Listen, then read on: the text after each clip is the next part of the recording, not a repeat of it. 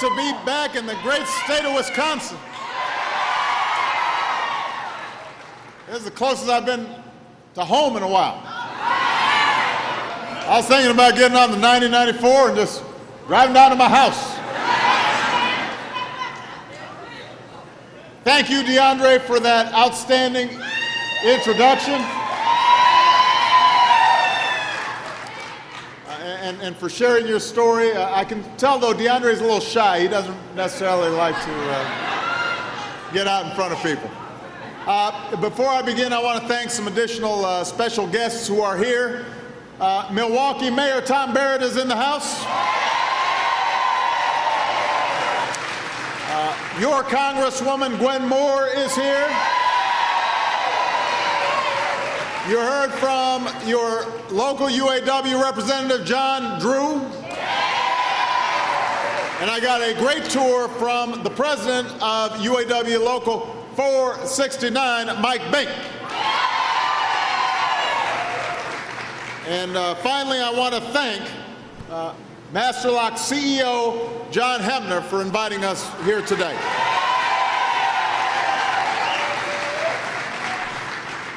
It is wonderful to be at Master Lock. Uh, I have to say, though, it, it, brought back some memories. You know, I was thinking about uh, my gym locker in high school. And, you know, if you go into the boys' locker room in high school, uh, sometimes it's a little powerful, the, uh, the odor in there. So I was thinking about the fact that, uh, you know, we weren't washing our stuff enough. Uh, and then I was thinking about, uh, as I got older and I kept on using master locks, I became an even better customer because I couldn't always remember my combination. So I ended up having to have the lock sawed off and buy a new one. So I was giving you guys a lot of business. And now, as I was looking at some of the really industrial size locks, I was thinking about the fact that I am a father of uh, two girls who are a student going to be in high school. And then it might come in handy to have these super locks.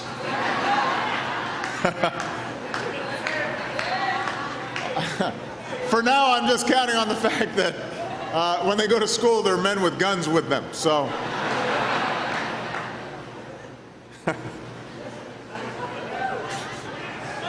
But, but I'm actually here today because this company has been making the most of a huge opportunity that exists right now to bring jobs and manufacturing back to the United States of America.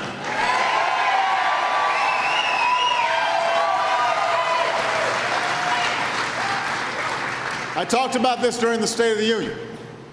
Over the last few decades, Revolutions in technology have made a lot of businesses more efficient and more productive, and that's a, that's a great thing. It means you generally have a better choice of products, you get better prices, but as some of you know, technology has also made a lot of jobs obsolete. And it's allowed companies to set up shop and hire workers almost anywhere in the world where there's an internet connection. You can produce things that previously you could only produce here in the United States.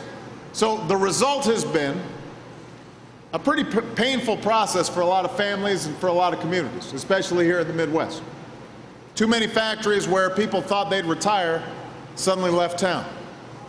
Too many jobs that provided a decent living got shipped overseas. And now the hard truth is a lot of those jobs are not going to come back. In, in a global economy, some companies are always going to find it more profitable to pick up and do business in some other part of the world. That's just a fact.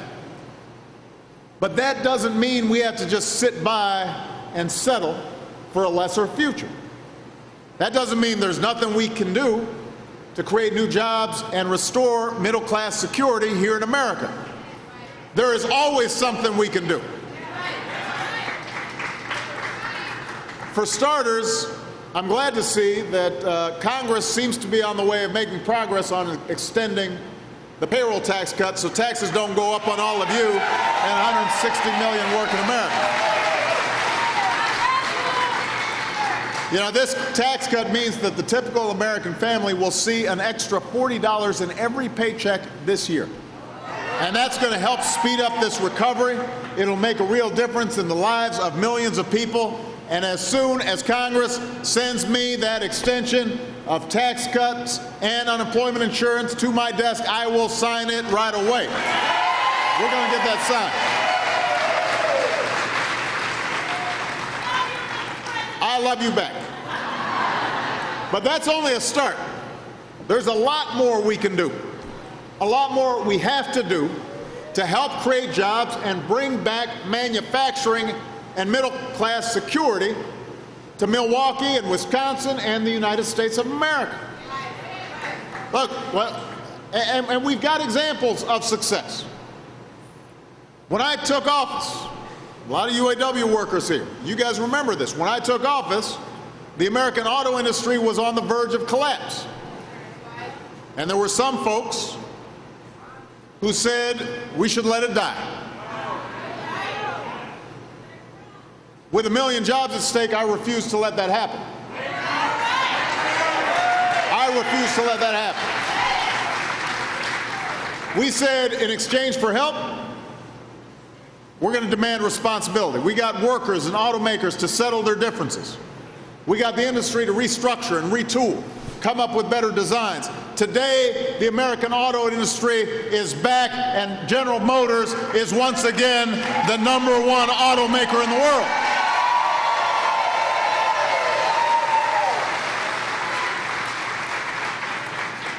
Chrysler's grown faster in the U.S. than any major car company.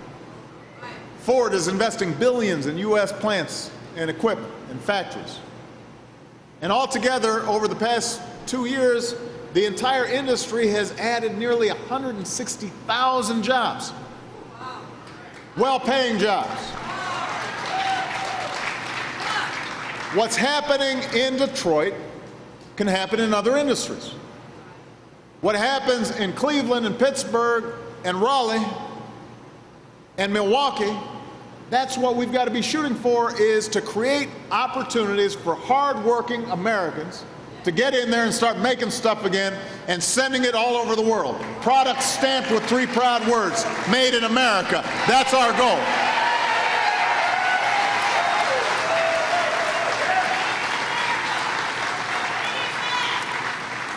And that's what's happening right here at Master Lock because of you. Over the last few years, it's become more expensive to do business in countries like China. Meanwhile, American workers, we've become even more productive. So when John Heppner was at the White House in January, he told me how it makes more business sense for Master Lock to bring jobs back home here to Milwaukee.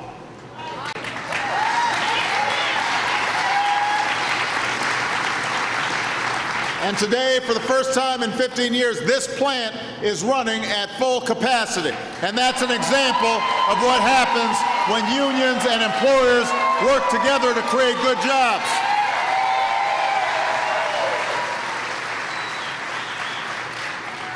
Today, you're selling products directly to customers in China, stamped with those words, made in America.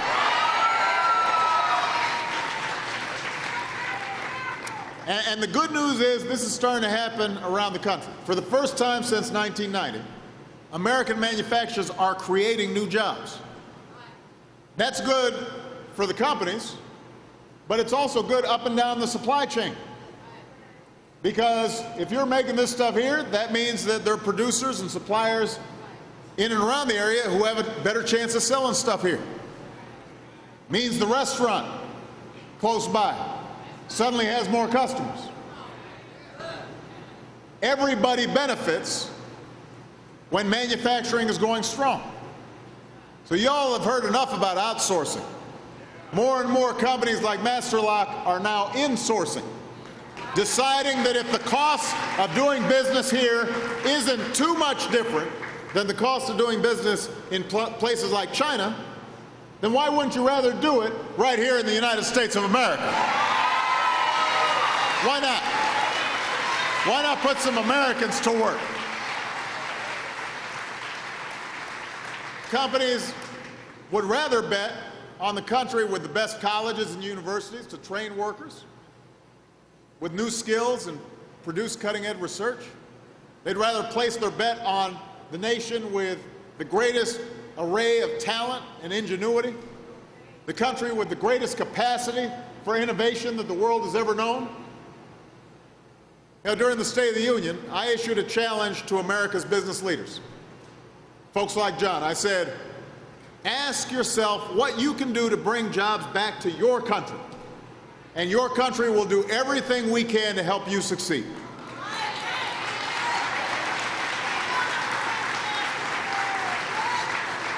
And since then, a number of companies, large and small, domestic, but also even some foreign companies, have said they now plan to open new facilities and create new jobs right here in America, which is still the largest market on earth. These include Wisconsin companies like Diamond Precision, which is a machine manufacturer that's going to be adding dozens of jobs here in Milwaukee. A company that's growing because its customers are choosing to buy American-made products instead of supplies from China.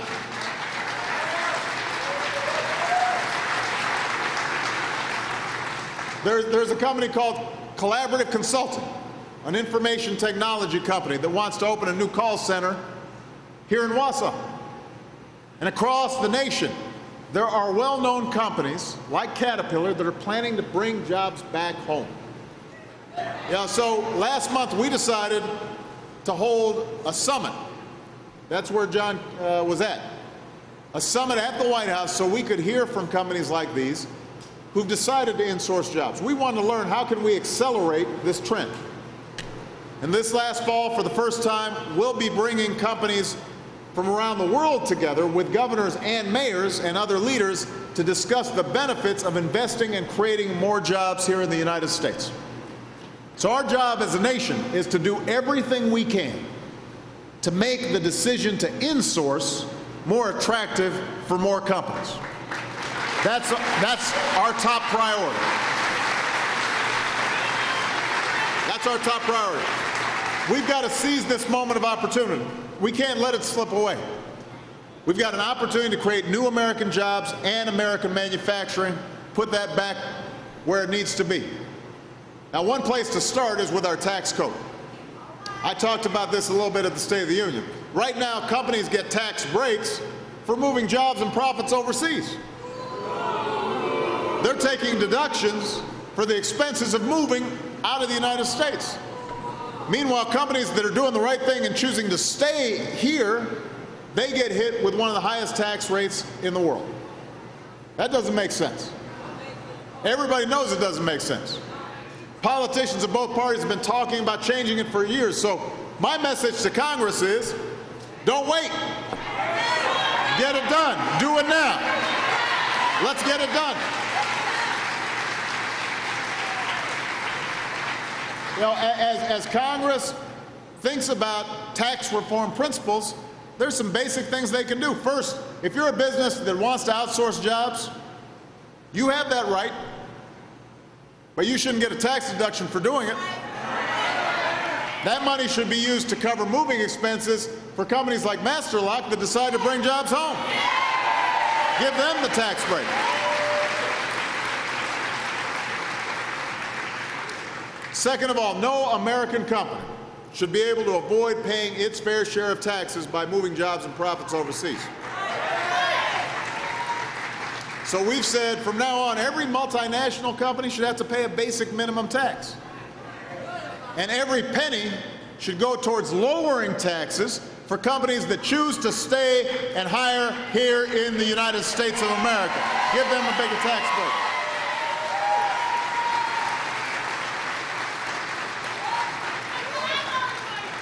Third, third, if you're an American manufacturer, you should get a bigger tax cut. If you're a high-tech manufacturer, creating new products, new services, we should double the tax deduction you get for making products here in America. If you want to relocate in a community like this one, that's been hard hit when factories left town, you should get help financing a new plant, financing new equipment, training new workers.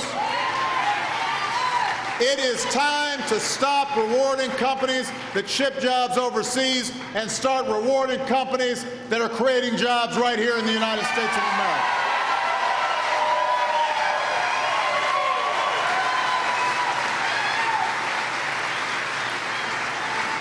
And this Congress should send me these tax reforms right now. I will sign them right away. Right now.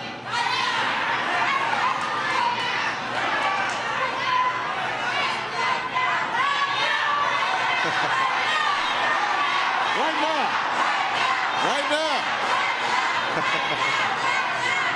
now, another thing we're doing to support American jobs is to make it easier for businesses like Master Lock to sell their products all over the world. Everybody knows Master Lock makes the best lock. So, two years ago, I set a goal of doubling U.S. exports over five years. With the bipartisan trade agreements I signed into law, we're on track to meeting that goal ahead of schedule. Pretty soon, there are going to be millions of new customers for American goods in places like Panama and Colombia and South Korea. I want new cars on the streets of Seoul, South Korea, imported from Detroit and Toledo and Milwaukee.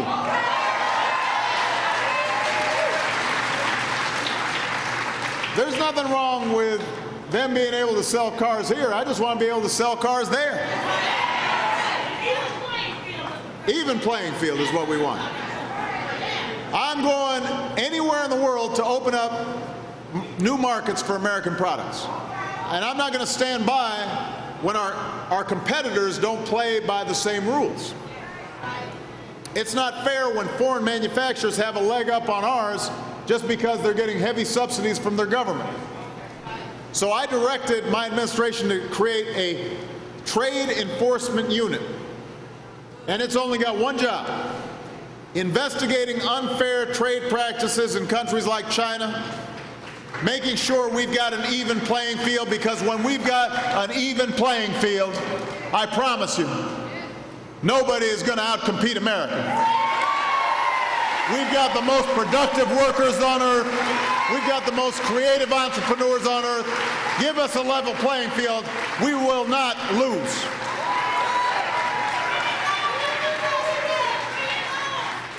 Now, part of creating that level playing field is also making sure that American workers have the skills that today's jobs require. And DeAndre talked about how he's, even though he's working, he's still going back to school.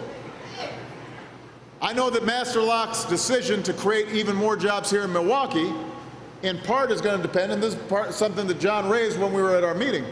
It's going to depend on finding enough workers with the right training. You know, I, I had a chance to meet uh, one, one of your coworkers, Eric. Where's, where's is Eric here? There he is, right there. So Eric and I were talking. Been a die maker for a long time. He, he's, he's older than he looks. Although we, we were comparing the gray in his beard to the gray on my head. But, but he was pointing out that he's actually been able to help make the machinery that he works on more efficient, which is making the company able to do more because it's not lying idle when certain orders aren't coming in. But that's an accumulation of experience that he's had over a couple of decades. Now, not everybody is going to have all that experience, but the question is, can we make sure if they're if they haven't already been working in this job, can they get that kind of training even before they're hired here at Master Lock so that they can provide that same value added across the board? That's what's going to separate the companies that succeed from the companies that don't. Is how skilled and talented the workers are and whether management is listening to the workers. Because that's important. Part, part of what allowed Eric to be successful was somebody, his supervisor, said, hey, this guy's got pretty good ideas. So that's why it's so important for the companies investing in training programs and partnering with nearby community colleges to help design courses and curriculum so that when workers show up, they're already ready to hit the ground running. That's why I've asked Congress to join me in a national commitment to train 2 million American workers with skills that will lead directly to a job. We need to give more community colleges the resources they need to become community career centers, places that teach people the skills that businesses like Master Lock are looking for right now. Right now.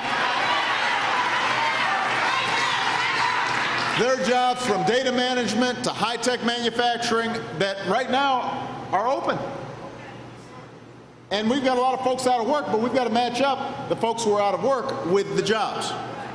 And sometimes the businesses may not be able to afford to train that person on the job. So let's have the community college help get the training. At a time when so many Americans are out of work, there should not be any job openings because every, every single job opening that comes up, somebody should be able to say, I want that job. And I'm prepared and skilled to get it. We're still recovering from one of the worst economic crises in three generations. And I'm not going to lie to you guys. You, you, know it. We've still got a long way to go before everyone who wants a job can find it. I'm sure that if we traveled all around here, there are a lot of folks who want work and can't find it. And you know, when, when you're out of work, that, that wears on you. It's not just the income. It has to do with your sense of place and your sense of dignity and your ability to support your family and the pride that you take in making a good product. That's part of what America's always been about. It's like what, what our work means to us, the values we put behind our work. We don't just do it for a paycheck. And so this has been hard on folks. It's been hard on our country.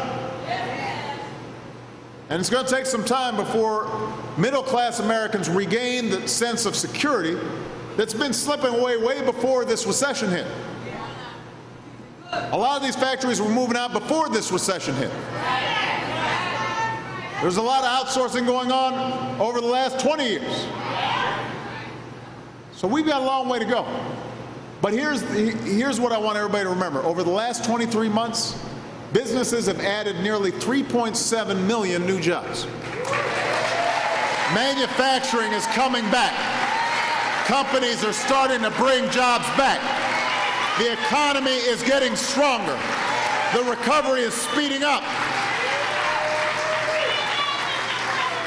We're moving in the right direction. And now we have to do everything in our power to keep our foot on the gas. And the last thing we can afford to do is go back to the same policies that got us into this mess. Milwaukee, we are not going back to an economy that's weakened by outsourcing and bad debt and phony financial profits. We need an economy that is built to last, that is built on American manufacturing and American know-how and American-made energy and skills for American workers and the renewal of American values of hard work and fair play and shared responsibility. That's what we're about. That's what we're about. And let me say, let me say this. These are not Democratic values or Republican values. These are American values. They have seen us through the most difficult challenges through war and depressions and civil strife. But we've always come out on the other side stronger than we were before. We don't give up. This country does not give up. And we make sure that everybody is brought along. We don't leave people behind. We look out for one another. We reach out to one another. We are going for new opportunities, but we pull each other up. That's who we are. If we work together with common purpose, if we pull together with common effort, I've got no doubt we will rebuild this economy so it lasts. We're going to create more success stories like Master Lock, and we will remind the world just why it is the United States is the greatest nation on earth. Thank you, everybody. God bless you. God bless America.